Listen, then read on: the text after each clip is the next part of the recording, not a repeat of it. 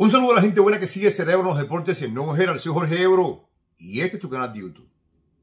Señores, una de las cosas que siempre hablamos mucho en las artes marciales mixtas y comparamos con el boxeo es cuánto ganan los campeones de un lado y cuánto ganan los campeones del otro. El sábado pasado vimos una pelea que a mí me gustó mucho, algunos no tanto, donde Devin Haney se alzó con los cuatro títulos que hay en las 135 libras. Para mí fue una demostración soberbia y fue un tremendo hecho en el Barber Stadium en Melbourne, Australia. Las bolsas oficiales, oficiales por la Comisión Atlética de Australia, revelan que George Cambosos, George Cambosos, se echó en el bolsillo 10 millones de dólares. Y Haney, por su parte, se llevó a casa 2.8 millones de dólares. Uno puede sacar cualquier conclusión. Entre ambos pusieron 40 mil personas en el estadio. 40 mil. 10 millones, 2.8 millones. ¿Ustedes no creen, por ejemplo, que la pelea, la tercera de Holloway con Volkanovski hubiera hecho mucho más? Mucho más. Yo estoy convencido de que esa trilogía de Volkanovski contra Holloway, Hawái, Australia, hubiese sido una locura mayor que la que vimos con Haney y Cambosos. Yo hubiera visto con seguridad más de 60 mil aficionados en ese estadio, en el Marburg, allí, en la ciudad de Melbourne, porque conozco bien de la penetración de mercado y de lo que significan tanto Volkanovski como Holloway en Oceanía. ¿Saben ustedes que ni Volkanovski ni Holloway en ninguna de sus dos peleas como salario base, como salario base, ganó más de 400 mil dólares. No ganaron más de 400 mil dólares. Después hubo algunos incentivos y qué sé yo, pero yo estoy hablando del el salario, el flat, que les dan a cada guerrero. Pero vamos a dar otra muestra más de la disparidad entre campeones y campeones. Y tomen en cuenta lo que significan Volkanovski y Holloway con lo que significan Cambosos y Geni. Cuando en este mismo estadio pelearon por primera vez Israel Adesanya y Robert Whittaker, metieron más de 57 mil aficionados. Más de 57 mil. Ninguno ganó más de medio millón de base. Ninguno. Después hubo incentivos de la semana, de que si la ropa, que si esto. Supongamos que superaron a duras penas el medio millón.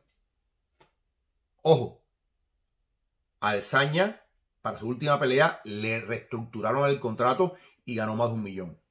Pero en aquel momento, cuando él derrota a Whitaker, no ganó más de medio millón. Y es que Whitaker, que era el campeón, tampoco ganó más de medio millón. Y sin embargo, más de 57 mil personas fueron a ver a ambos guerreros y generaron cerca de 6 millones en puerta, solamente en puerta, más de 6 millones. ¿Hay disparidad entre campeones y campeones? Por supuesto. Por supuesto. Las bolsas combinadas de Holloway y Volkanovski en ambas primeras peleas, en las primeras, en la 1 y la 2, no son ni un tercio, ni un tercio de las bolsas combinadas de Cambosos y Geni. ¿Dónde está la diferencia? ¿Por qué un hombre como Cambosos que le dio la patada a la lata ante Teófimo López gana 10 millones? Sencillamente por la forma en que se hace el negocio. La UFC es la dueña absoluta de los destinos, dineros y proyecciones de sus atletas. Y la UFC es la que fija la paga. En el boxeo, como es un negocio abierto y cada boxeador tiene un promotor y un manager que lucha por sus derechos, hay más capacidad de maniobra. Hay mucha capacidad de maniobra. Yo sé, por ejemplo, que el gobierno de Australia apoyó esa pelea con ciertos dineros. Si ese gobierno de Australia apoya a la UFC, el dinero va a la UFC, no va a los deportistas. Ahora, entrar a discutir la justeza o no de este procedimiento nos llevaría un tiempo enorme. Yo sencillamente les quiero poner aquí en relieve las grandes diferencias. Pero ¿quién es Cambosos? Y ahora, ahora sabemos quién es Heini. Pero supongamos que Cambosos hubiese ganado 3 millones y que Heini hubiese ganado 2.8. Todavía superan con mucho lo que ganan Volkanovski, Adesanya, Whitaker. Con menos público, con menos reconocimiento social, con menos proyección mediática que Volkanovski, Adesanya, Whitaker y Holloway.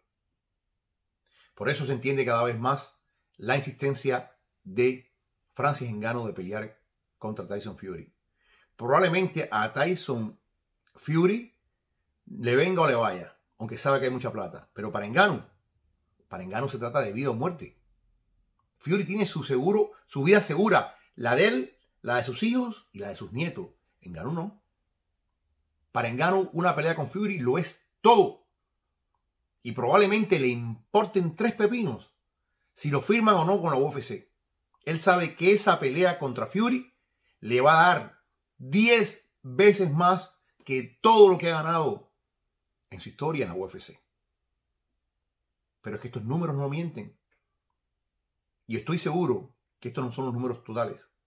Estoy seguro que estos 10 millones de Cambosos y estos 2.8 millones de Haney de base tienen otras cositas más en términos de promoción, en términos de sponsor, en términos de derechos de televisión, como siempre sucede. Pero esa cifra mejor ni decirla porque Volkanovski y Holloway van a terminar llorando. ¿Qué te parecen las bolsas de 10 millones y 2.8 millones respectivamente para Cambosos y Haney?